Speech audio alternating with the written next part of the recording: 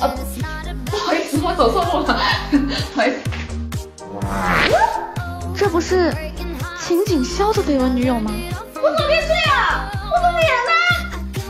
你你你怎么在这里啊？别装傻，狗仔就在外面。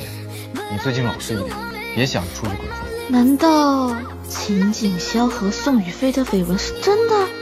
看着人模狗样，居然还是个渣男！